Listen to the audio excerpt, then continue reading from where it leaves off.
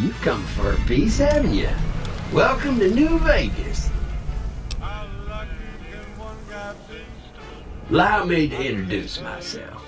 I'm the Securitron that dug you up in the bone orchard outside Goodsprings. I thought you'd gone up the flume, but that Doc Mitchell knows his trade. It's good to see you up and around, right as a trivet.